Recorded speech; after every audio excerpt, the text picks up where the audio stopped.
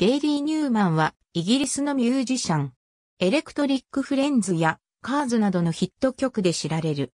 1976年にチューブウェイ・アーミーというバンドを結成し、アルバムを2枚発表して1979年に解散。同年8月21日、シングル、カーズを発表し、全英1位、全米3位を獲得。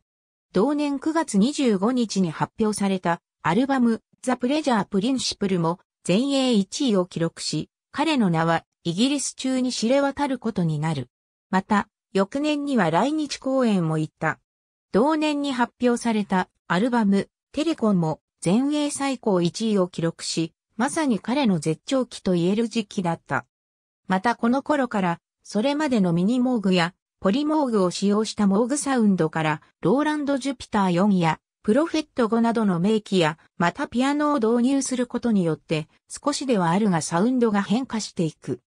その後、今までゲイリーのアルバムに参加していたミュージシャンたちのほとんどが離れるということが起きたが、様々なゲストミュージシャンを迎えることによって問題は解決した。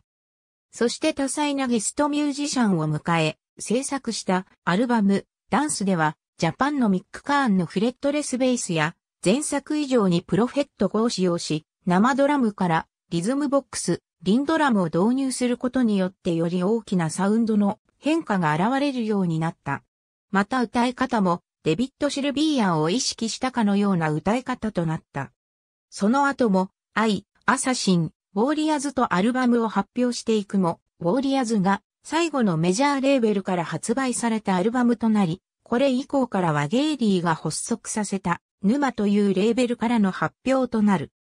しかし、それからゲイリーのアルバム、シングルはヒットしなくなり、またチューブウェイアーミーを活動させていた頃からゲイリーほとんどのアルバムに参加してきたベーシストのポール・ガーディナーがヘロイン過激摂取により死亡してしまうなどのことで、ゲイリーは大きな痛手を受け、急激に目立たない存在となってしまった。そんな状況ではあるが、ゲイリーはひるむことなく数年に一枚というペースでアルバムがリリースされている。近年はマリリン・マンソンがゲイリーの曲をカバーすることや商業エレクトロニックミュージックのパイオニアとして、トレント・レズナーなどの多くのアーティストに影響を与えていることなど、ゲイリーの音楽が注目されたり、再評価されるようになっている。そんな再評価の機運が高まる中、徐々にセールス面での回復を見せ、2013年発表のアルバム、スプリンターが全英アルバムチャートで20位にランクインし、4年後の2017年発表のアルバム、サベージで全英2位を獲得。同アルバムでは、ゲイリーの実の娘であるペルシア・ニューマンがコーラスとして参加しており、しばしば BBC などのテレビ局でのライブや、比較的規模の大きいライブで、ゲイリーと共演している。ありがとうございます。